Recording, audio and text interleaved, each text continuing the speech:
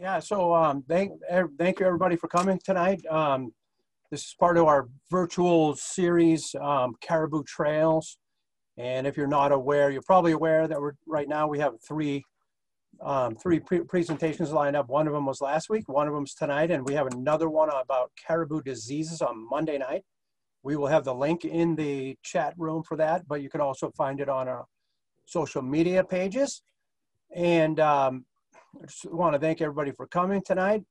Um, as we do the presentation, I'm going to ask everybody to have their cameras and their um, audio off, and um, we'll any questions that you have, you can throw it in the chat box, and we'll save that for the end. We're going to do a, kind of a variety here. We're going to have a the video um, counting caribou. If you haven't seen that, it's a 10 minute video. And I'm going to show that video just to give you an overall sense of the process out in the field of um, taking photo, like taking photos of the herd, what it looks like, and kind of set the stage for the uh, presentation that is going to follow that. And Nate Pamperin, the the photo census coordinator, is going to give more of an in-depth presentation about the mechanics and the cameras and the process of doing the caribou photo census. Um, and then after he does that, I'm going to show a short video about the um, the main airplane that gets used, the, the Havilland Beaver. And Tom Seaton is here. He's the photo census pilot, and he's featured in that short video, but he's also here to talk and to answer questions about anything about the photo census as well. So that's kind of the way we're going to run it here tonight. Um, when I start this video, I'm going to share my screen when I start the video, if anybody doesn't have good bandwidth at home or they have some troubles, there is a link right now uh, to the YouTube channel. So when I click on, when I'm showing it through my computer, if you're having trouble viewing it, if it's not streaming or, or if it's uh, not running properly, click on the YouTube link and YouTube um, should be more aligned to your bandwidth. So you can watch it on YouTube while we're watching it on the computer. Um, and Jen or Sierra, did I miss anything or should I go ahead and start?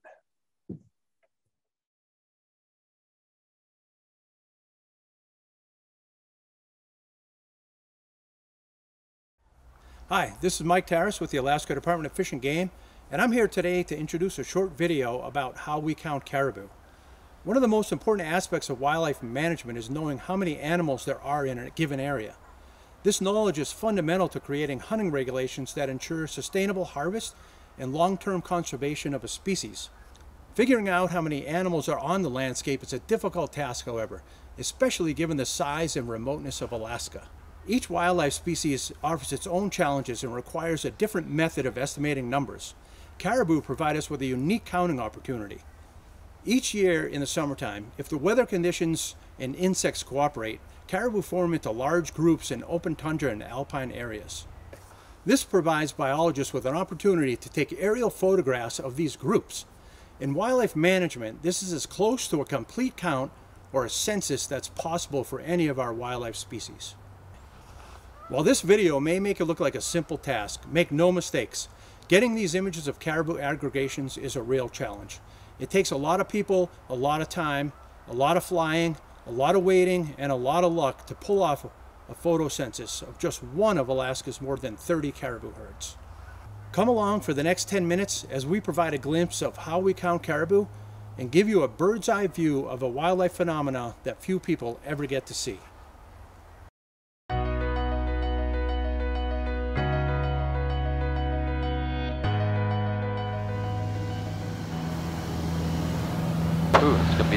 Some count. Pretty thick, aren't they? Yeah.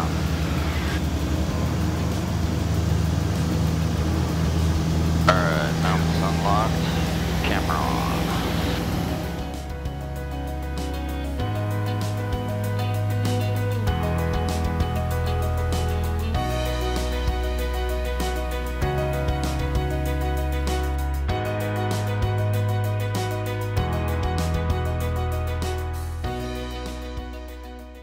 Large herds of caribou migrating across vast landscapes are one of Alaska's greatest natural resources. These caribou are a key part of the ecosystem, foraging on plants and providing food for scavengers, predators, and humans alike. If nature cooperates, One time each year, a team of biologists with the Alaska Department of Fish and Game may get a chance to count these animals, furthering their efforts to conserve these herds. Every year, thousands of hunters head out across Alaska to harvest caribou. These animals are an important source of food for many Alaskans. There are up to 1 million roaming the state in 32 different herds, some of which are made up of hundreds of thousands of animals. On average, approximately 22,000 are harvested annually. But because populations fluctuate naturally and rarely remain stable for long, biologists try to keep track of how many are in each herd. Doing so helps to ensure harvest by hunters is sustainable. With large numbers scattered across the vast landscape, counting them is a challenge. The animals are constantly on the move through some of the most remote places in Alaska. To count caribou, biologists must take aerial pictures of the herds. Timing is everything, and it's only during the hottest, buggiest time of Alaska's long summer days that all the pieces just might fall into place. When the temperatures rise and the insects become thick, caribou start to congregate in large numbers on alpine snowfields and windswept areas. They are trying to escape relentless attacks by swarms of mosquitoes, bots, and warbleflies by squeezing tightly together so less of each animal is exposed. And while there might be more caribou for insects to choose from, each individual is less likely to be affected. Biologists are waiting for the perfect conditions to come together high temperatures for several days, insects at their peak, and large, tight groups. The team must be ready to go at a moment's notice. This may be the only chance all summer to capture the necessary aerial photos of the caribou. They must act fast. The weather could change at any time, sending the herd scattering. When it looks as though all the pieces are falling into place, pilots take to the air in small planes to scout out their locations and behavior.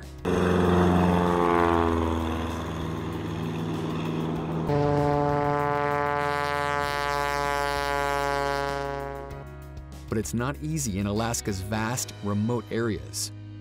Radio telemetry is used to track and find collared animals. In almost every caribou population in Alaska, biologists have fitted some with radio collars to help find groups from the air. These VHF or GPS collars emit a signal that allows pilots to find animals and gather valuable movement and population data throughout the year. When the caribou are in large groups during the summer, finding the collared animals usually means finding most of the herd. It may take multiple scouting missions over the course of several days or even weeks to decide when they're congregated enough for the next phase of counting, calling in the camera planes. Alaska Department of Fish and Game has two airplanes, equipped with three 100 megapixel cameras that operate simultaneously with a GPS unit to allow high resolution imagery and mapping. When the call comes in, one of the on-call camera planes heads to the congregating herd under the direction of the spotter planes. While the spotter planes are out radio tracking, they're also visually searching for groups along the way.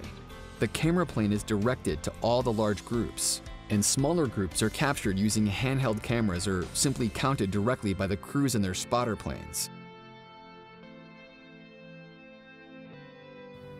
So inside the aircraft, there's a lot going on when photography actually starts and prior to photography. Uh, once we get to a group and we're led to that group by the radio collars and the biologists that are tracking that particular group, the pilot flies a perimeter around that group of caribou and we're assessing if they're going to be photographable or not, how many uh, animals may be outside what we're going to be able to photograph in a single pass. We're trying to figure out if we need multiple transects for that group.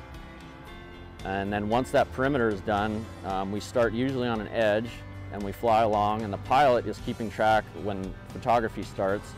He can see a flight display that shows the real-time photo footprints, so how wide a coverage we're getting and uh, whether or not we're capturing all those caribou or not. There's other observers inside the aircraft as well. They're checking for caribou outside the coverage of our photographs.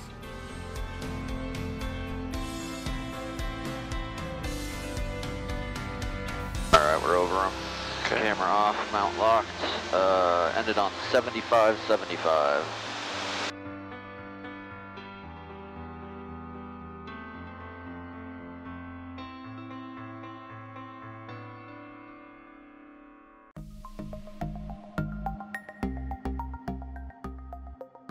The end, the goal is to photograph all the caribou in the herd as quickly as possible. Some may be missed, but most are photographed and eventually counted. While this is technically considered a minimum count, it is as close to a complete census as possible. Once the herd is photographed, it is then time to download the huge data files into the computer program. Based on GPS coordinates, the program precisely stitches all the overlapping images together and provides a seamless picture of the large groups. When the mapping portion is completed, trained staff reviews the digital images. This high-resolution imagery allows for the viewing of individuals on a computer screen, and even distinguishing calves from adults. Biologists then mark every animal with a dot, signifying that it has been counted. Then computer software sums all the dots on the images for a total number. It sounds simple, but keep in mind, some Alaska caribou herds have 250,000 or even 400,000 animals. It takes a lot of time and a lot of work to accomplish the counting process. The system is not a perfect one, and the team knows they may miss animals who are not part of the aggregations that day. The census team then uses statistical methods to estimate how many caribou were possibly not captured by the cameras. Depending on the herd movements, proportion of radio collars found, in weather conditions, the number not photographed may vary between 1 to 25% of the total population. By using this combination of assessments to estimate the number of caribou not captured in photographs, the team is able to achieve an accurate total population estimate. The role of statistics in any wildlife abundance survey is really to get an, an idea of uncertainty. How close are we to the truth? And so in a photo census, we know that we're not counting every single animal. It's not a true census in, in, that sense of the word. What it is, is probably the closest thing to counting every animal in a population in the caribou uh, example. But what statistics allows us to do is understand, for example, if the herd estimate was 100,000, is that 100,000 plus or minus 10,000? Or is it 100,000 plus or minus 50,000? And that's what statistics is doing, is letting you know whether you're in the plus or minus 10,000 realm or the plus or minus 50,000 realm. Typically, uh, fish and game photo censuses are very high quality.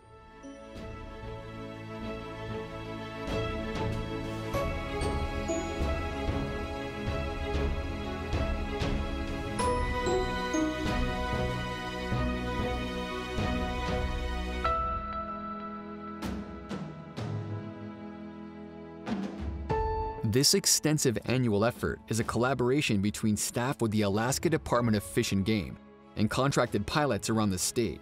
The goal is to photograph the larger herds about every two years. If the herd is going through a dramatic increase or an abrupt decline, the census may be attempted each year. In some years, the factors needed to complete a census of Alaska's herd may not come together, and a census cannot be completed.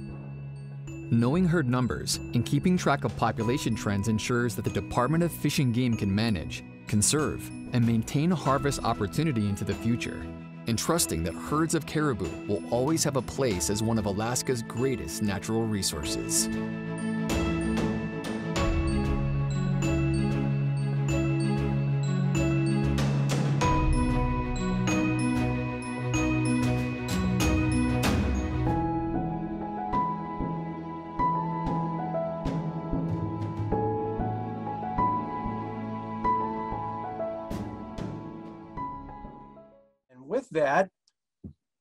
Um, without further ado, I think we're going to jump right into uh, the next presentation, which is a, a PowerPoint. And um, this is going to be Nate. You, you can you're going to introduce yourself as well, but Nate Pamperin is going to give an overview of the uh, caribou photo census itself, the whole thing, and he is the photo census coordinator for the state for the Department of Fish and Game. So he deals with all the photo, photo censusing, all the herds around the state and um, he knows a lot about everything there is to know about the camera system and everything like that. So um, if you have questions during this presentation, keep them in mind or put them in the chat and we'll get to them um, at the end of this whole thing. Nate, you wanna you wanna go for it? Sure, I'll get things set up here. Okay.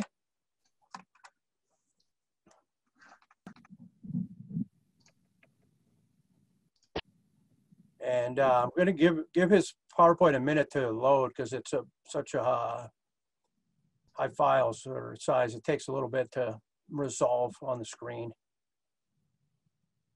Does it look good on your end, Mike?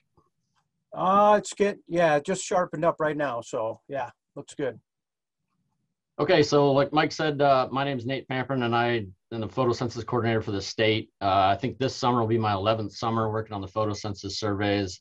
Uh, I started out operating the camera and then kind of slowly worked my way up. And I was fortunate enough to be involved in the photocensus group uh, during the time frame we we transitioned from film to digital. And uh, it's been a really rewarding and kind of exciting phase in the photocensus survey history um, to kind of transition the technology to newer, newer and better stuff, and uh, to see where it, it kind of takes the surveys and and how much better we get at, at doing these with the new technology.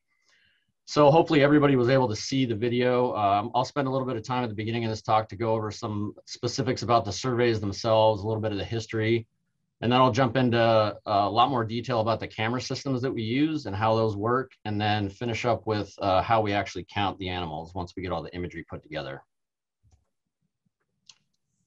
So I want to start off with just a real brief history of the photocensus surveys themselves. Uh, close as I can tell in talking to people, the real con first concerted effort to do a photocensus was in the early 1960s, and it wasn't 100% successful. And then from that, the the main technique of the photocensus, basically searching out these aggregations of caribou and then uh, using photography to, to capture them in planes, really was developed in the late 1960s and refined in the 1970s by Fish and Game. Early on, there was some cooperation with BLM uh, using some of their aircraft and I believe some of their cameras. So since then, the, the basic framework of the technique hasn't really changed a lot. You still have to go out there, refine the animals, and photograph them. It's just some of the equipment has changed and and uh, how we're able to find the animals. So the major advances through the years that really have brought us to where we are right now. Uh, first being the radio collars. So early on, it was just VHF, and those uh, probably became the most popular and started becoming used for um, tracking animals in the 1980s. There were some in the 1970s, but really for the photocensus, uh, 1980s is when we first saw the use of those. In more recent decades, uh, we've seen satellite collars come on board, as well as satellite collars that can relay GPS information, and that can all that data can be downloaded remotely. So it gives us a much better ability to track these animals.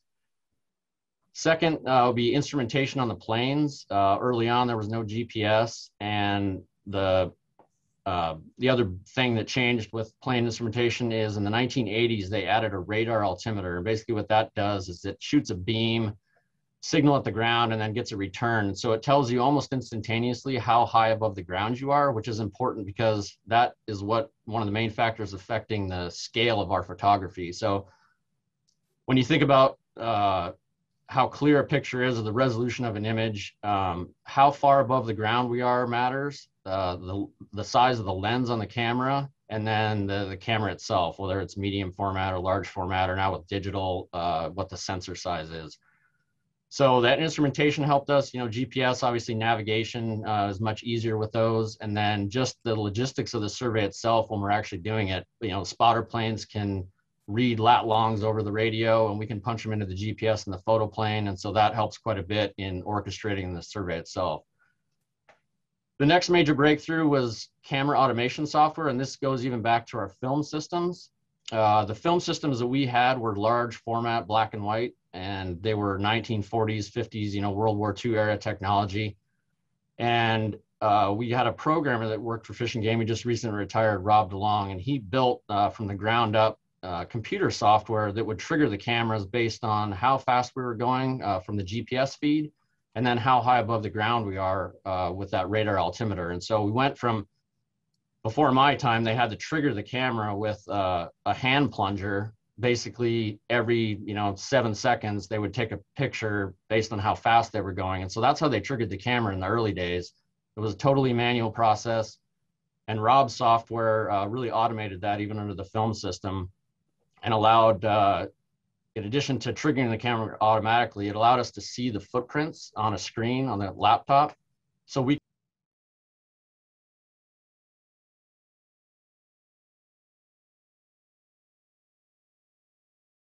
No worries. Okay, well, I'll, uh, I'll start just with the, the advances through the years. So The first of which was uh, radio collars. So in the beginning of the 1980s, the VHF collars came into use, and we started using those for photocensus activities as well as other surveys.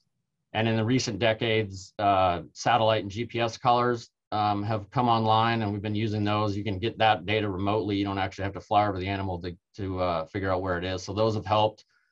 Um, plane instrumentation uh, GPS has has helped us a lot, just in navigation, and then being able to share waypoints with between the spotter planes and the photo planes, so we can uh, more efficiently conduct the survey. And then the radar altimeter is one thing I talked about, where it uh, it's an instrument that basically tells you almost instantaneously how high above the ground you are, and that's important when we are talking about the scale of the photograph. So. Um, how high above the ground you are, what kind of lens you have on the camera, and then the camera itself are, are the three main things that uh, affect what the scale your, your end photo is going to be.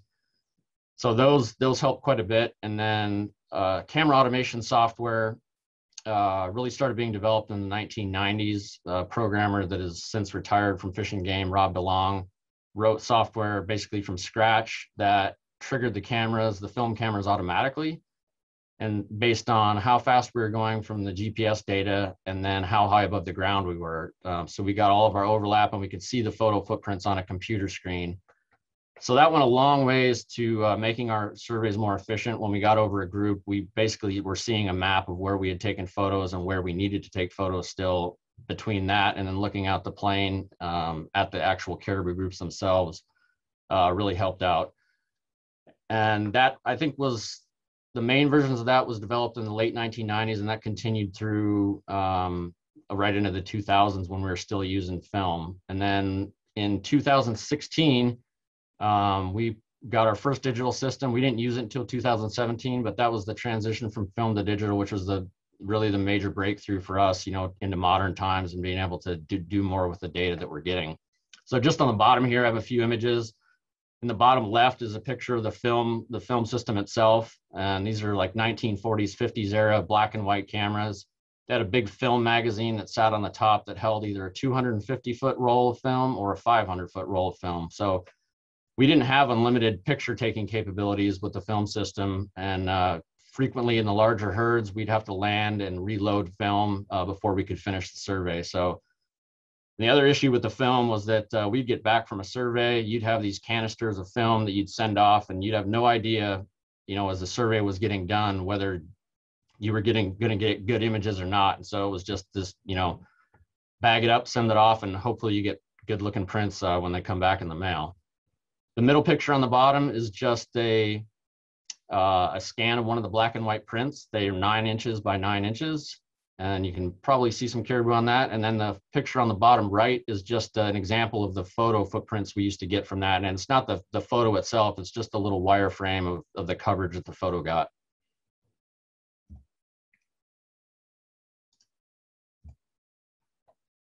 So a little bit more about the survey in the video, you heard that, you know, Alaska has over 30 caribou herds. We don't use this photocensus technique with all of the herds. We've concentrated on the probably the seven biggest herds. So if you start up on the North Slope, we have the Western Arctic herd. Uh, moving to the east, there's the Teshekpuk herd. A little further to the east is the Central Arctic, and then all the way to the east is the Porcupine herd, which ranges into Canada. So we do those four herds on the slope with our system, and then in the interior, uh, we have the 40 mile herd, and then the Nelchina herd, and then down in Southwest Alaska, uh, sometimes we use the system for that. A lot of the smaller herds um, in the state use a similar technique. They're just allowed, you know, they're able to use handheld cameras that get, you know, you know they're smaller groups of caribou, so you can capture those in, in one or two shots on a handheld. It's important for us to get these estimates of caribou herds because there's a, a lot of harvest that comes from these, and it, it just helps us better manage that harvest if we have an idea, relatively speaking, of how, how large the herd is. And then finally, you know, we we really owe the the technique to the biology of the caribou themselves, and, and I guess to the insects. Uh, this wouldn't happen if we couldn't uh, take advantage of the post-calving groups that form um, that you saw examples of in the video. So what do we need for a, a photocensus survey to happen or to even try to do one? Uh, first of all, we need the weather and the insect conditions for the caribou to actually aggregate to come together. And so that's what the, you know, the herd biologists are looking for, um, starting in about mid-June, you know, into late June, trying to get a, their finger on the pulse of what's happening with these groups, whether they're forming or not, and, and how things look for, for getting a photocensus done. When we actually get on the scene with the photo plane, what we need is we need groups with defined edges. If we can't tell where the groups start and stop, then the photography really doesn't help us because we're not getting, you know, distinct groups and, and we're able to move through the herd and figure out um, if we're getting all the groups or not. So we need defined edges on all these groups. You can see in the picture below on the bottom of the slide here, that's a really nice group. It's on snow, really easy to see the edges and very easy to take pictures of. And then the next major thing we have to do is we're, we're trying to attempt to find all the active radio collars or the radio collars that should be on live animals at the time of the survey. And before radio collars, you know, there was intensive visual searches that was that were done, and that's still done to this day, kind of in the, some of the periphery.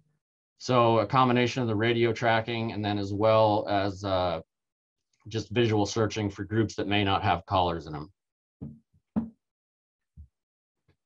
So if we take a look at what the groups look like, you saw some of these in the in the photocensus video that played in the beginning. This is a group from the Mulchatna. This was just one picture from a handheld camera out the window of a plane. This is about 500 animals, and you can see it's just you know a really distinct group. There's some hiding in the bushes there off to the left, but uh, pretty easy to photograph this one. This group is a lot uh, more dispersed. This is a group from the Western Arctic, and it may not look like it has a defined edge, but the, these animals aren't moving that much, and there's definitely a defined edge in the in the background there, and you can see. And it, it just takes more photos, but even if they're you know this large, uh, we're still able to photograph them, especially now with the digital system where we're not really limited on uh, picture capacity. And then occasionally um, we'll get these super groups. So this is a picture from 2013 in the Western Arctic Survey. And these are tens of thousands of animals. I think this group, there was some on the edges of this, but it's close to 100,000 caribou. So from a, you know, a, a neatness perspective, uh, these are really cool groups to see. From a counting perspective, uh, this is a little bit too dense. You know, these animals are packed so tightly onto that bench above the river that they're standing flank to flank, and it makes counting them really difficult. You get calves that are standing under the adult cows, and uh, it's just it, it's almost too dense to count. But it's really cool to see. And then sometimes you'll find groups of caribou uh, in places you might not expect. So this is a picture from 2017 in the Teshekpuk census. And these animals are out in a shallow lake. And we saw this multiple times on this census where I don't know if it was the temperatures or the bugs or the combination of the two, but the entire group would be completely in water. So if we think about how we do a photocensus survey and what we need and compare that to traditional aerial photography, there's a couple main issues that we have to overcome trying to capture caribou in the images as opposed to what people may do in traditional aerial photography. So if we think about you know, we want to go map a city with an aerial camera, or maybe we're going to take some pictures of agricultural fields. You can basically plan that entire survey from your computer. Uh, you can figure out what resolution you want, how far you want the photos spaced apart, and before you walk out to the plane, you have a really good idea where you're going to take every single photo in that survey. When we're talking about caribou and wildlife, and specifically this, you know, this survey, the location of the photography of these animals is really unknown until the very last minute when the photo plane is flying around that group and we're flying that perimeter trying to figure out how we're gonna how we're gonna lay those photos out and uh, capture the group. So all of our flight planning is done on the fly. And in order to do that, we had to have software that was customized to control the cameras and then provide us with those real-time photo footprints that not only the pilot has a display that he can he or she can see, um, but the camera operator has to be able to see that as well. The other issue we deal with, which is uh, not very common in aerial photography, is what we're trying to capture is moving during the actual photography. So it's not bad if we can cover all the caribou that we're looking at in one pass. Um, so we can maximize the swath or what coverage the photos have on the ground.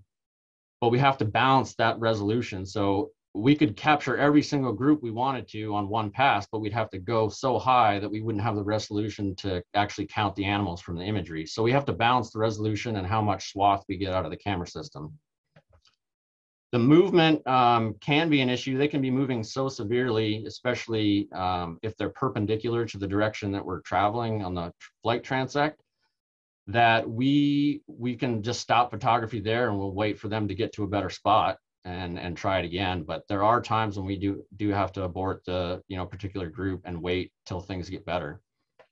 On groups that do take more than one transect you know we're trying to optimize the overlap and i'll, I'll talk about that more in a few slides.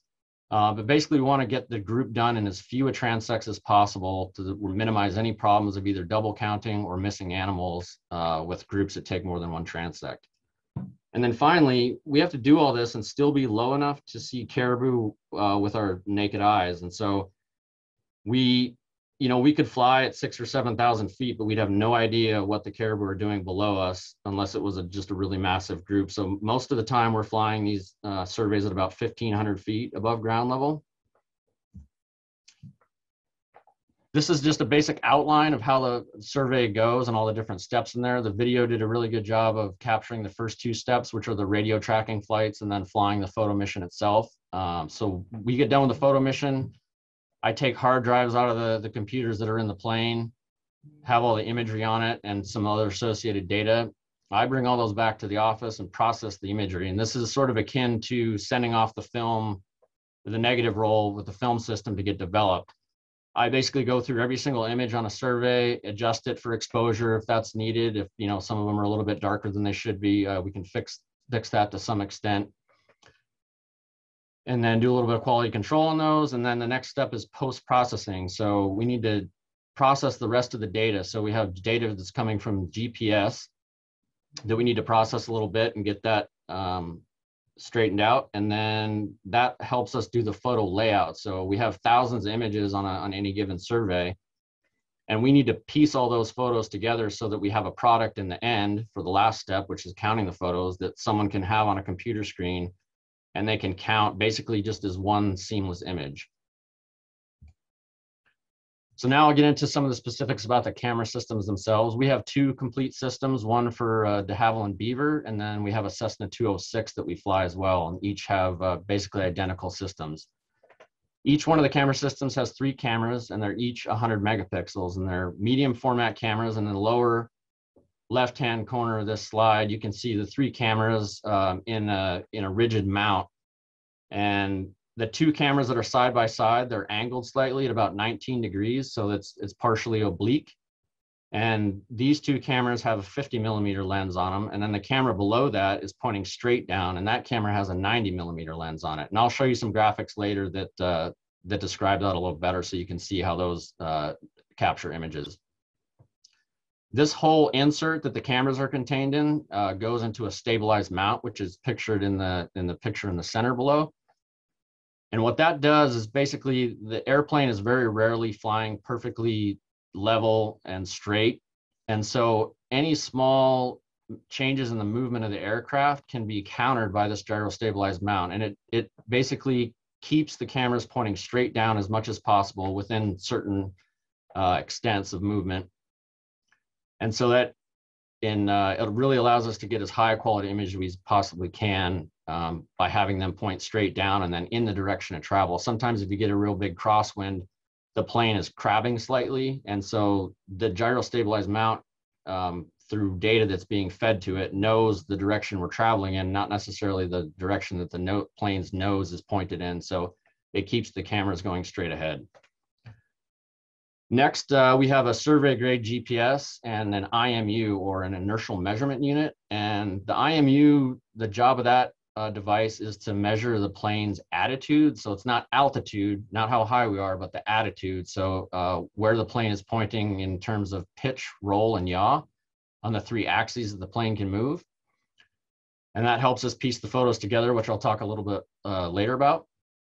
And then in order to make all this stuff work, since our surveys are so much different than traditional aerial photography, we needed advanced flight management software. And that just a screenshot is posted here in the bottom right. And there was a, a video of that in the in the opening um, video that you guys saw. So what this does is it plots the, the real-time photo footprints that we're taking.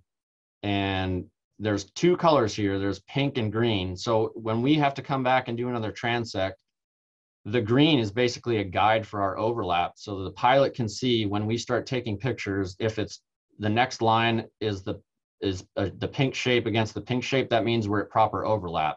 And it's just a visual cue that the pilot can use to make sure that we're not missing any caribou or we're not having too much overlap. So we're flying as efficiently as possible.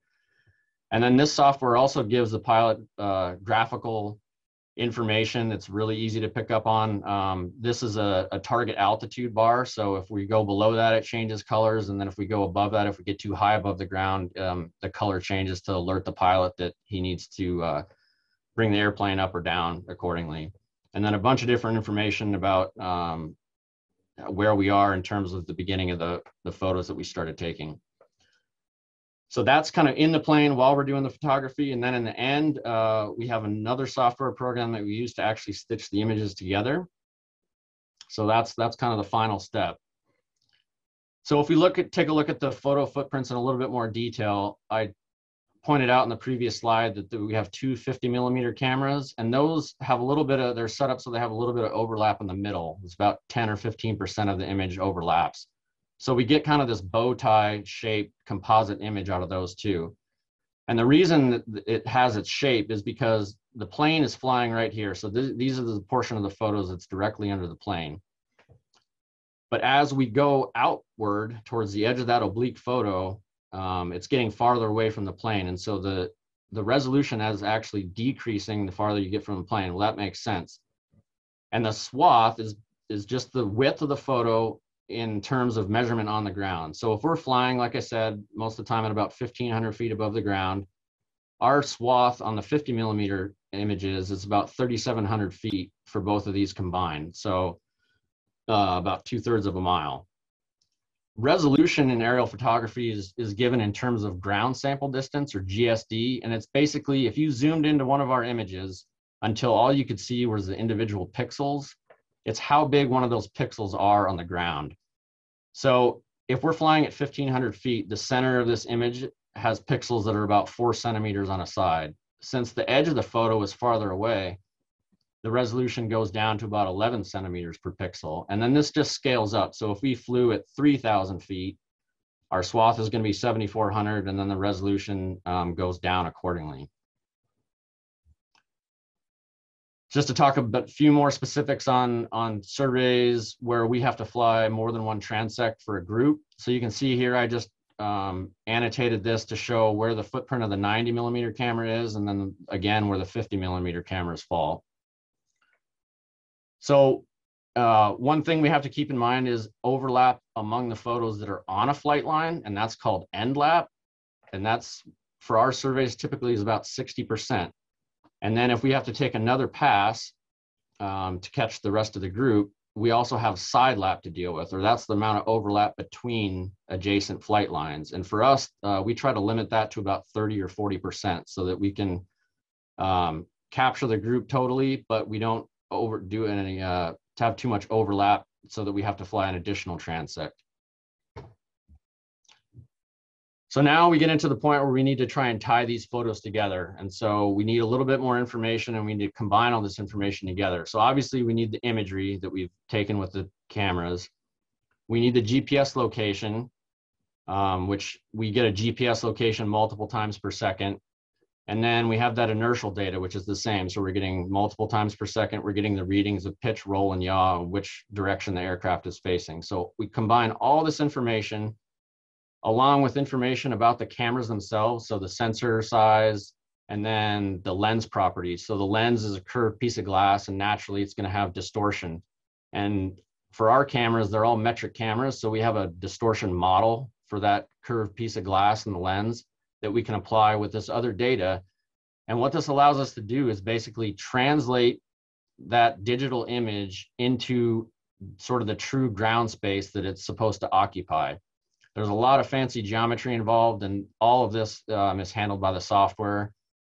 Um, but that's basically how we uh, gather all this information together and then process an image so that it comes out to where it should be on the ground.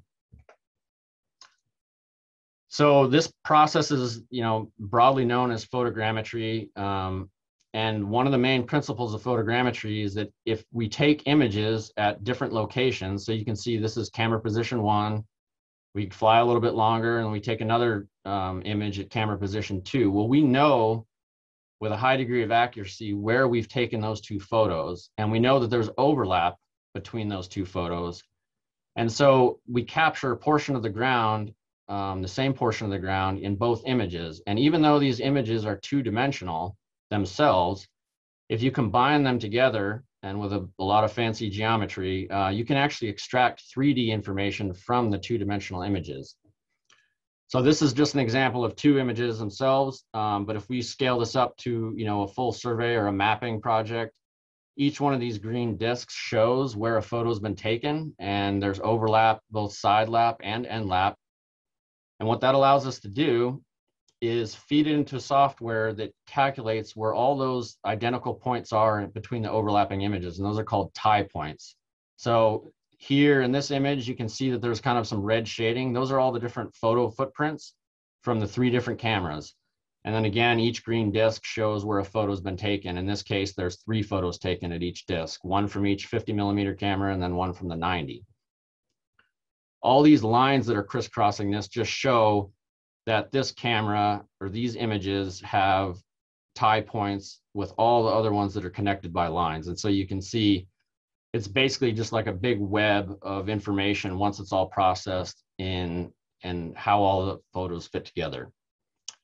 So once that step is done, once we have all the tie points generated, uh, we can actually build a 3D model of the, the terrain that we just flew over. So we get back to the office, process all this data, create the tie points, and we get this 3D model, which is called a digital elevation model. And this is what we use to overlay the individual photos onto and then create that seamless mosaic. So you can see here, you don't see any edges of the images. It's, it all looks just like one picture. So that's the end goal. And that's really what we're trying to do to get to the point where we're counting the caribou. So that was a lot of explanation on how we do the ortho rectification, the process of, you know, putting these photos on the ground in the space that they need to be in. And I'm just going to play a little animation here of the process in action with the software. It's just a little screen recording.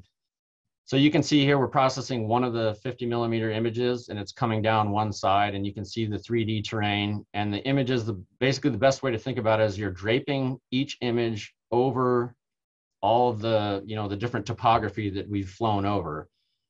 So we finished up the first line here, and this is just, you know, five or six images. Um, but imagine this happening at a scale of a group, you know, a large group of caribou that has, you know, 200 or 300 images in it. This is the process that's going on to register each individual photograph. So we got a couple more images coming on this other side.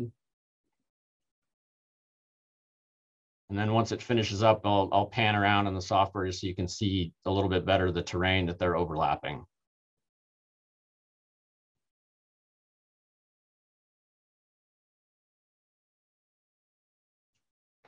So that's basically a visual on on the orthorectification process or, or how we you know get those uh, images into real space on the ground. So the goal of that process is to get individually um, registered images. And then the last step is to basically put those all into a mosaic. And this is what we're gonna count. So this image here shows the mosaic underneath of a big group of caribou from the Western Arctic Survey. And then the yellow lines are the seam lines. So this shows what portion of the 50 millimeter photos were used in the final mosaic. And I have control of this in the, in the mosaic process. So I can drag this line to the left or to the right if I want more of this image and less of this image or vice versa. And then the black lines are the seam lines of the 90 millimeter images. So you can see when someone's counting these images, um, they don't necessarily have the seam lines on there. I just put these on here so you can see how the final mosaic is made up of portions of all those individual photos. So now I've described how all that works with the digital system. I wanted to take a step back in time and, and show you what it was like with the film process. We didn't extract the 3D information from the film prints like we do with the digital photos, but a lot of what we do with the digital photos, we had to do the same thing with uh, for film. So on a film survey, we'd get the film back uh, from the developer two, three weeks after we um, sent it off for processing. We'd get a bunch of these nine inch by nine inch prints back, and then a biologist would have to sit there either on a gym floor or a big table like you see here in these pictures and lay each group out so that the photos um, in a particular group were all laid out basically how they were taken. The difficult thing with the film photographs is that it's impossible to fly the same altitude above the ground on, on all these flights. And with the film, you're restricted. I mean, the, the prints come back nine inches by nine inches, regardless of whether you flew one flight line 100 feet higher than the next. And so the layout process was manual and it was a little bit tricky because if, if the scale of the photos was off just enough, it was harder to recognize um, identical points on the ground.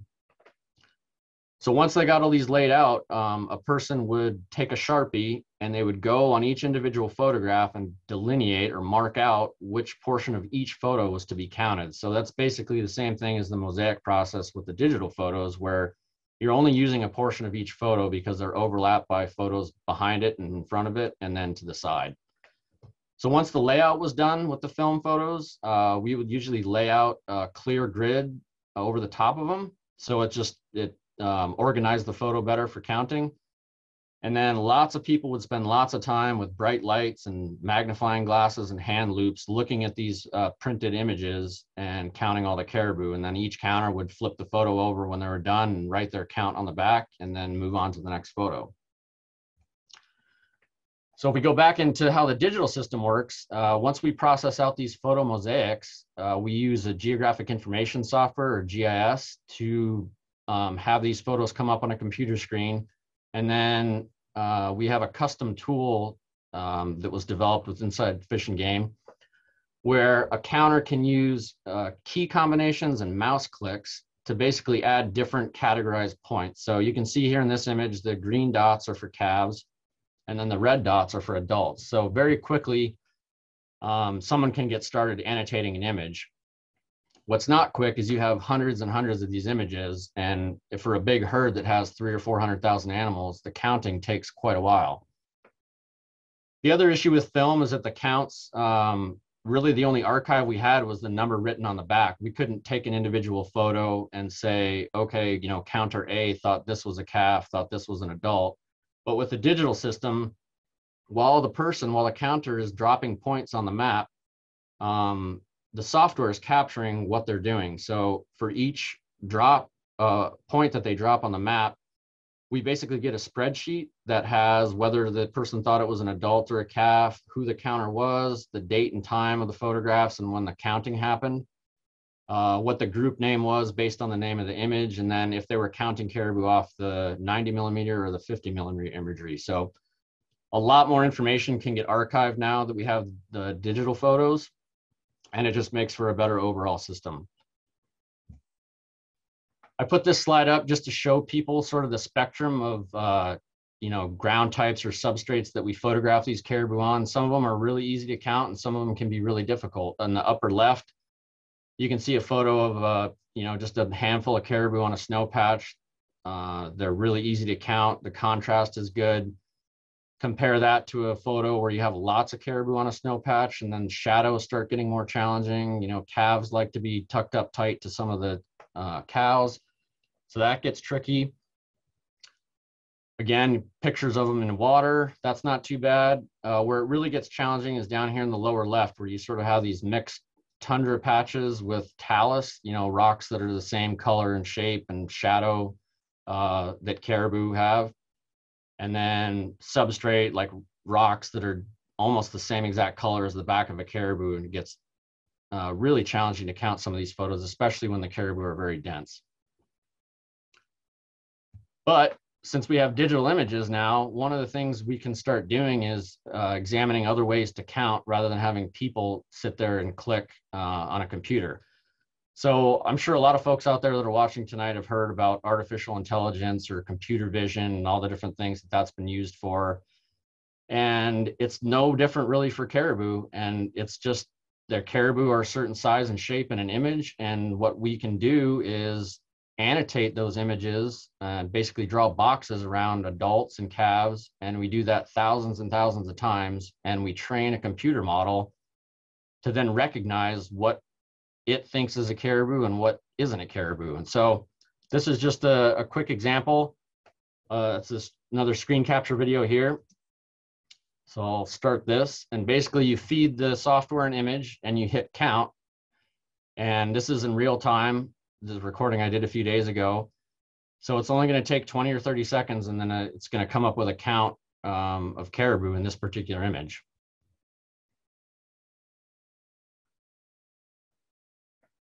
So we waited a little while, and the computer came up with a little over 9,300 caribou. So now we're going to zoom in, and we're going to see if uh, if it missed any or if it double counted them, and, and see how well the software actually did. We're almost getting to the point where we can see the individual animals and each one of those little circles has a number in it out of the 9,300, um, the order in which it was counted. So I can start annotating it with these red boxes to show caribou that it missed. So you can see it missed an adult, handful of calves, another adult, and then down here, uh, this bull it actually double counted. So it got the body, put a mark there, but then the antler was the right color, maybe the right shape. Um, so that was annotated as another caribou. Obviously, that's wrong. You can see the vast majority of these uh, missed animals are calves. And so over time, we can annotate more and more images and hopefully get a better model. These models are never going to be 100%. They'll never be as good as human. And the idea, though, is to be to become more efficient now that we have the digital data so that we can feed uh, computer system these images and get sort of that first cut of counting done and then go back in, you know, have staff members do this where we could just clean the image up, you know, delete double counts, add missed calves. And so the, the time taken to get a count in the end uh, should be much less. And we're currently in, you know, there's multiple software packages that can do this and we're, we're investigating a few at this point. This is just one of the examples that's, it's worked out the best so far um, of what we've tried. And so it's definitely not a done deal where we can just feed it any image and, and we get a perfect count, but it's one of the things we're working towards um, to speed things up. Because in a traditional census, sometimes, you know, we the herd manager might really want an estimate before that fall's hunting season. And so we'd only have, you know, if we do a photo census in July, we just have a short amount of time to try and count all the photographs, do all the statistics and come up with an estimate. And then this is my last slide. I always get a lot of questions on why we don't use drones. Um, and so this is just one particular example of a Western Arctic survey in 2019 that, uh, at least to me, answers that question fairly well on why we don't use drones. And, and when I'm talking about drones here, it's mainly like the consumer level or professional level drones. I'm not talking about, you know, military grade predators uh, that you'd be flying from the office. So the scale here from east to west, um, you know, this survey covered close to 200 miles. And so with a fixed wing aircraft, we can, you know, land once and refuel and basically have this survey done in less than a day with either our 206 or the Beaver.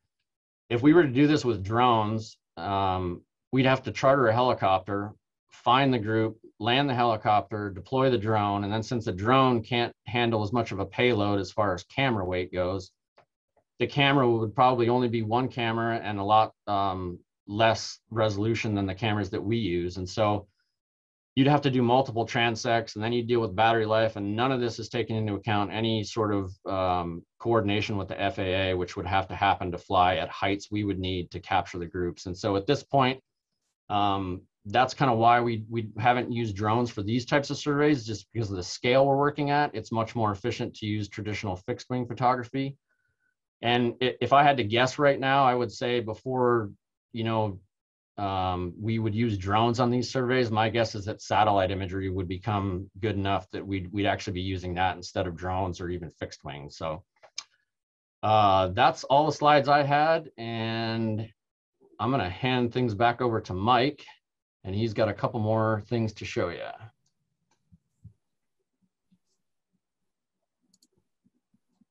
All right, thanks, Nate. Um, we got a lot of questions starting to pile up in the chat, and those are there's a bunch of good questions in there. We'll get to. Um, some of them were not answered in the presentation, but um, before we do that, I'm going to share my screen again and show a short video about um, the the de Havilland Beaver and Tom talking about the Beaver, and then give Tom a chance to talk about um, flying the photo census for the last many years that I know about. So here we go with one more video.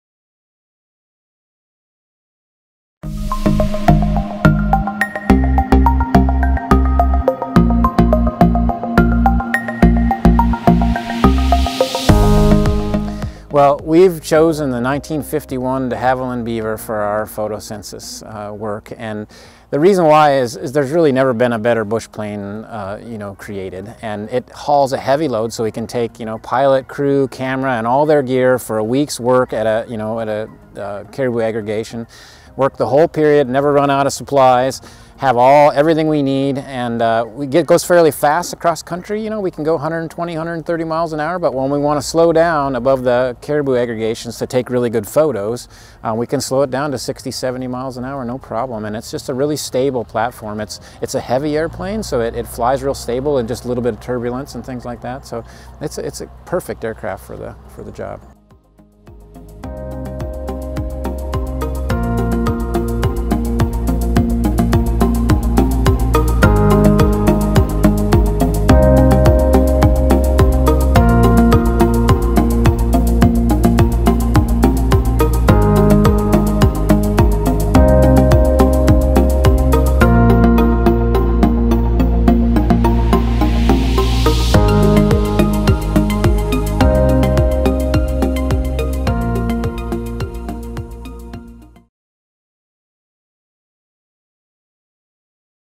Okay. Um, Tom, I don't know if you want to talk at all about flying these surveys. You, I think you've probably been doing this longer than any pilot now. Um, that's still with the department. Sure. Yeah. I, I think you know this this presentation is pretty technical, but I think it's one of the important things to remember from my perspective is that it's one of the greatest wildlife spectacles in the world. You know, Alaska has some really amazing uh, wildlife to view and to and to enjoy, but to see a half a million or even a hundred thousand or fifty thousand large ungulates like this all get together uh, on one day and, and be able to view them, it's uh, it's it's quite a spectacle, and so that's kind of uh, what I really enjoy out of it, uh, beside the technical parts. Um, I think I'll, just kind of stop there. There's probably there's a lot of questions to be answered. I wrote a couple notes down. I saw somebody asked early on, what are the things that cause the caribou to group up? And Nate hit that a little bit. Um, I think the reality is we don't really know for sure um, what makes them group up, but we have a good idea. Um, and I think it kind of boils down to three kind of components. Um, the first one is is a social part of the reason why they grow up and that that's kind of their post calving aggregation. So they they all kind of split spread out somewhat to calve but then they all kind of group up after that and we think there's some a social component to that. The next thing is insect harassment from bugs. Like nate mentioned um, you know the worse the bugs generally uh, the better they group up and caribou are harassed by all kinds of different bugs and so um, it's not just the mosquitoes that uh, that, harass the, us there's other bugs too. Um, and then hot, still weather really matters. So if there's any kind of wind, it can blow the uh, blow the bugs off the caribou and give them some ease. But so the perfect, the very best conditions, like the days that we get the really good photocensus are hot, buggy, clear skies with no wind and for several days in a row. And that's kind of, hopefully that answers that question. Okay. Um, yeah, so I guess we may as well start we can start going through the questions. I'm gonna I'm gonna show two slides real quickly before people start leaving, and then we can start scrolling through these questions and answering questions with while Tom and Nate are here with us. So give me one second here. Let me do one more screen share. Uh, mostly, I just want to point out for everybody out there in the audience that um, other caribou resources that we have, we have lots of caribou resources, and mo most all of them are on our website, on the Alaska Department of Fish and Game website. You can look under species, caribou, other resources. We have generally um, newsletters about all, updated newsletters about all the major herds. Uh, we also have species profile pages, um, things about uh, meat salvage requirements, how to identify male and female caribou. Um, and also we have a we have a caribou disease booklet that's coming up in the next month or two probably that's going to be completed. So we have that stuff on there, so please um, check out those resources. We also have on Monday, April 5th, Dr. Beckmen, our wildlife health veterinarian, is going to give a presentation at 7 o'clock about caribou diseases, um, their impacts on the, on the caribou themselves, on the herds, and then also cautionary measures for people um, and pets as well. So hopefully everybody can join us for that presentation. And with that, I think we can just start going through some questions, unless uh, Jen or Sierra, you have anything else that I missed maybe?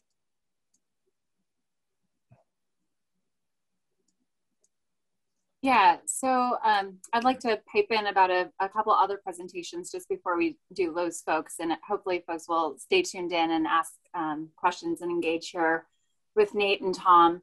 But um, we also, aside from the Caribou presentation, we have, we're just busting out all of these virtual presentations this spring, and we hope you'll join us also for Wildlife Wednesday while it is virtual. Um, Next Wednesday, we will have Dr. Jeff Stetz, who is a fish and game research coordinator, take a closer look at bear rubbing behavior and its use in population monitoring and potential bias in research design. So I'm going to drop a link for that, um, and you can just click away and register for that tonight, as I did the um, caribou diseases in Alaska with Dr. Kimberly Beckmen. If you want to just sign up, so while it's on your mind, and that will be done. And just as a side note, um, after this three part series on caribou, we do hope to have some specific herd updates given by research and management biologists. So um, stay tuned for that. And if you aren't a Facebook user, um, you can look at the Fish and Game. Um, we've got an event calendar. So just in the search bar, when you go to Fish and Game's website, just look at event calendar and uh, you'll see upcoming talks there. And I can also drop a link now. So thank you. Okay. Um, I'm going to skip the comments about Nate's beard and go right to the real questions. Uh, so here's one, the average number of transects per herd, you know, and that's obviously quite variable um, depending on the herd size and their aggregations and stuff. But what, what do you got?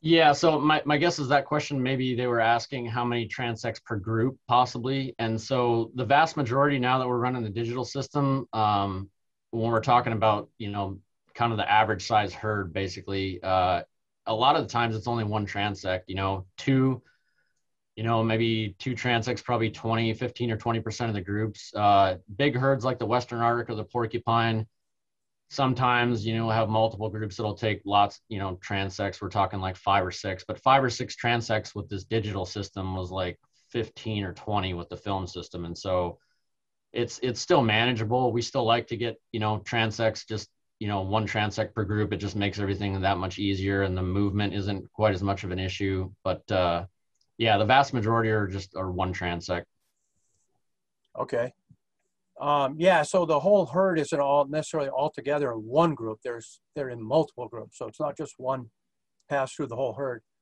Um, since you have to fly over the herd low, you know, not that low, but does it ever scatter the herd? Yeah, so the the Beaver is a pretty loud airplane. It's got a big radial engine, and uh, it's definitely making noise. And the same, you know, with the 206, it's got a different engine, but they're still loud. And the Caribou are already sort of, you know, on edge because of the bugs. And so, you know, t- we'll occasionally see them react to the plane a little bit. It was a little more common in the film system because with the film system, we were flying at about a thousand feet above the ground, and now we're half again as high at 1500. And so um, it's less noticeable now that we're running the digital system and we're flying higher, but yeah, these the animals are already on edge, and so you know, it, it doesn't take much to to kind of get them to pay attention, but uh, it's it's definitely less less of an issue with the digital system for sure. Okay. And there's many many groups that we fly over that caribou are just bedded or feeding, and there's no response to. Um, you know, sometimes it's a time of day when they're not as agitated as they sometimes are because of bugs and things like that. So it, it's variable. Okay. Um, somebody has a comment here. I would love to, I would have loved to see this type of information and process in my GIS course during my degree. Um, does Fish and Game ever reach out to their needs for future generations or current needs in the industry with local universities? Like, I don't know if they, I don't know about that one. So I, guess I haven't, I haven't been asked or haven't, you know, uh, initiated anything to go give talks to any of the GIS courses, say like here at the University of Alaska Fairbanks. Um, but we, it, as far as like designing the system, you know, we worked with a professor from a university that had experience doing um, similar types of surveys. And so we've we've worked with folks universities doing that. And then in the automated counting research, I've interacted with a number of different folks from other universities and you know have data sharing agreements with people that want to try the automated counting um, with their particular model. And so we, we do interact with universities in that respect. Okay. Um, another one, is there any other photogrammet photogrammetric uh, information taken from the images, such as size, like caribou size, that is utilized, or is it only used to piece together the information? So the, the main thing we use it for in caribou is is to get the images pieced together um, so we can count them. And but once the images are orthorectified, you can take measurements from them. And in the oblique portions of those photos, uh, some of the measurements can get a little bit off. It's less accurate way out there, especially if you don't have um, a line a line of photos to the to the side of it. So if it's your last photo line, those far oblique portions of the photos can get a little skewed. But um, yeah, once we process a, an ortho mosaic, uh, you can take measurements on the animals, and um, I can let Tom describe a little bit what uh, some of the work we've been doing with bison. But yeah, you can take measurements, you know, see how long they are, and all sorts of stuff. Uh, you can do that, and I'll let Tom talk about the bison work. Yeah, that's super useful with bison. You know, photocensus can be applied to other species too. Um, and since I'm, you know, the wood bison project biologist, we spend a lot of time uh, doing photocensus on wood bison, and then I can uh, classify all the animals in a group to uh, their age class or their sex. You know, like an adult bull is much larger than a than a two-year-old or even an adult cow. There's so much sexual dimorphism there, and you can do the same thing with caribou too. And so, it, you know, as, as time goes on, this is pretty new technology for us just in the last few years. And so as time goes on, it's going to get more applications into, into other species. But having, being able to measure things in the photo is, is very fruitful for us. Okay. um, another question. I don't know if anybody wants to tackle this here. Um, might be better for one of the biometricians, but what statistical methods do you use to account for missed groups of or animals? So you guys want to talk about Rivest or just? I can I can just that? I can mention it real quick. I mean, so if the Lincoln talked a little bit about it in the in the video. So if you go back to that YouTube link, he can, he describes you know on a basic level what we're trying to do. But there's a paper written by some Canadians, I think it was in the late '90s, and the the main author last name is Rivest. It's R I V E S T, and they basically just came up with a method of trying to estimate those how many caribou are represented by those collars that you don't find. So if you knew you had 100 collars in a herd that should be alive at the time of the survey and you only find 95 of them, basically it fills out the rest of that curve and how many animals are represented by those other five collars. And so in a nutshell, that's basically what it is. But in in fish and game world, you know, we call it the Rivest method, and and for most of the large herds that group up well, uh, we use that to statistically estimate what portion we may have missed. Okay. Um, yeah. So another question: We will have these. All these presentations are um, recorded, and we we have them on our ADF&G YouTube channel.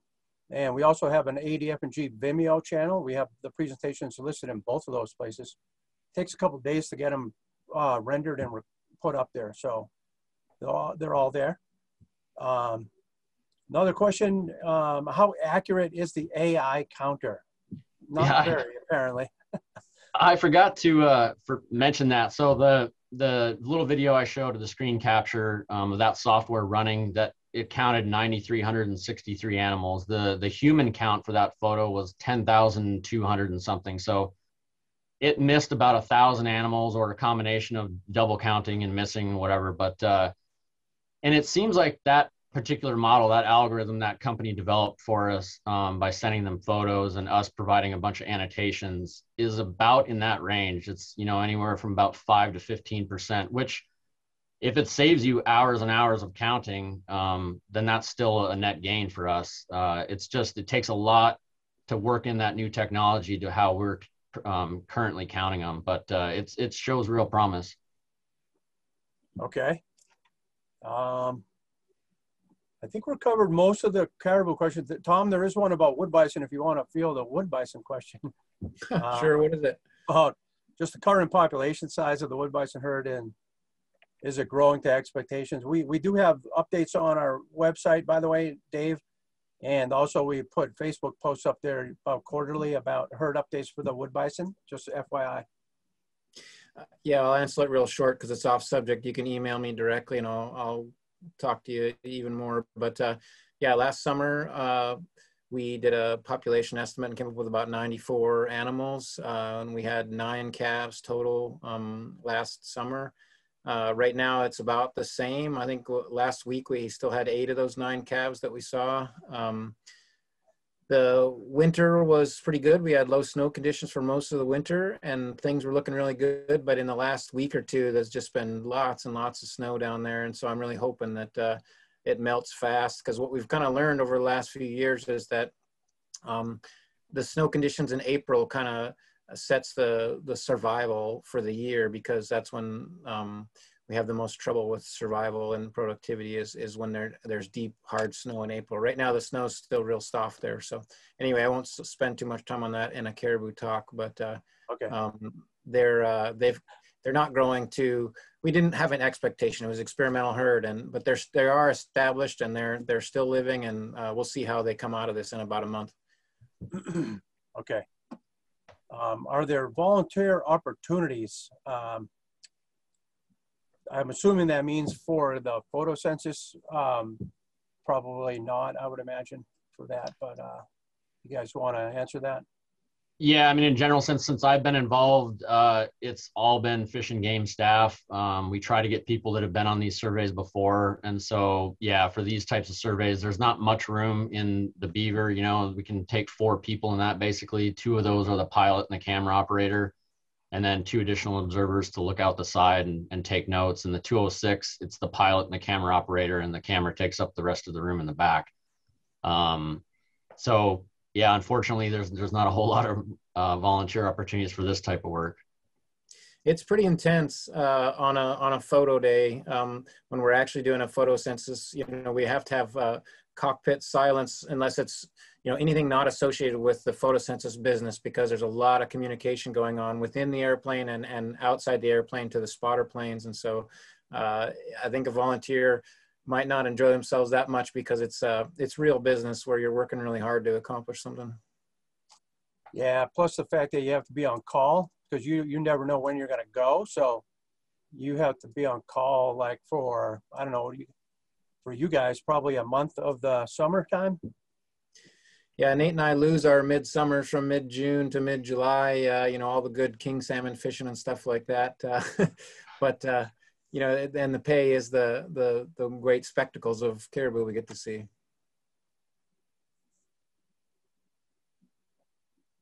Um, here's a question.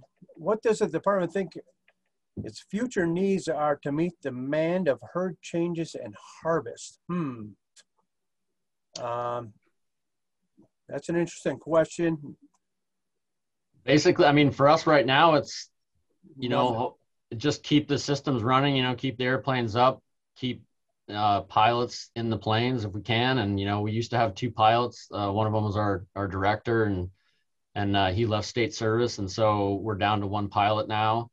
So that, that hampers us a little bit, but yeah, in the future, it's just, it's keeping the technology we have working and, uh, and then in the future, you know, investigating possibilities of any way we could do it more efficiently. And, and you know the weather and the bugs and the caribou have to cooperate you know to to get the surveys done that's really the the crux of it all is for those groups mm-hmm. to form. Um, but basically it's you know keep up what we're doing now and hopefully we get you know censuses when we need them and we have the people to do it. Yeah and herd herd sizes change all the time and harvest changes all the time you know and that can be dependent on the herd size so just getting the numbers of caribou um, that's going to change all the time. So getting the numbers is really important to help um, manage that. Yeah, and we it was mentioned in the video too, but just to reiterate that uh, you know this these groupings don't happen for every herd every single year. Um, and when they do, you know, they might last a day or two. So if people aren't on the ball and, and monitoring these herds really closely, um, your opportunity can come and go. And, you know, we've like the 40 mile herd, we struggle to get that one. They just don't seem to group up um, quite as well as maybe they used to, or maybe something's changing. But you know, last survey we got was 2017 on the 40 mile, and before that, I think the last good census we got was in 2010. So there, you can go long periods of time, even though you're monitoring these herds closely before you get you know another photo census. So you just you got to keep trying. Um, Nate, you mentioned the satellite work uh, possibly in the future. You know, has the department uh, showed any like interest in that at all, or have you brought it to anybody? Um, we've I've looked into it uh, be, because of requests from other people. You know, they're interested to see if that that's possible. So for us now in the systems that we have, we feel like we can count calves reliably and adults, and we can distinguish the two, you know, anywhere between about three to six or seven centimeter resolution imagery. Like the very best satellite imagery that you can get right now, at least easily, is, you know, 30 centimeters. And so you can see caribou in 30 centimeter imagery, but you're not going to get an accurate count from it. And then there's a lot of logistical challenges with uh, the satellites. You know, is there cloud cover?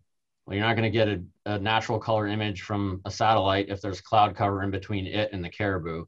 So you'd have to have clear weather days um, to get that stuff. And just right now, the biggest hurdle is the resolution just isn't there. And then, you know, the problems with acquiring the imagery, the cost of it, those are all hurdles that we'd have to overcome. But the main thing right now is just the resolution. Okay, and that kind of answers the next question that it was in there, um, just about taking uh, less photos from high quality photo from higher elevation or from a satellite. So I think they're both fall into that resolution category. Like it's not not high enough to get the counts that we need.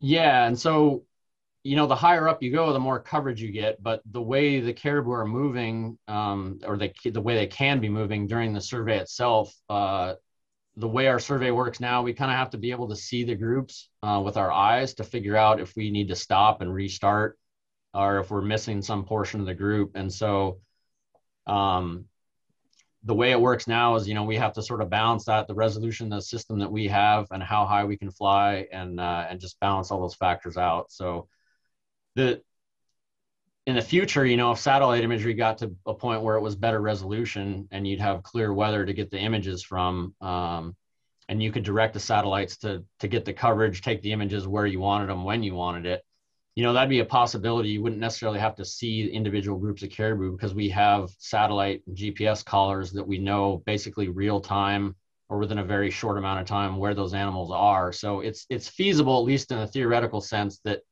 someday satellite imagery may work. Okay. Well i think that's about all we have you know unless um, you guys have anything you want to say to end it. Um, that's all that's all that we have. And um, there's a lot of comments in the chat that i'll share with you guys too. Um, oh and we have a poll to throw up there as we depart. If people want to answer the poll a lot of people are starting to leave now. So uh, if you can answer this poll question about other topics of interest for future presentations this you know this would help us out a little bit And just a thank, I'd like to thank these guys for coming and doing this tonight. It's very much appreciated. And I think there's a lot of interest in it. And um, now we have this recorded so we can, people can watch it anytime and share it with other folks. So thank you, Tom and, and Nate. Welcome. Yeah, for sure. It was fun.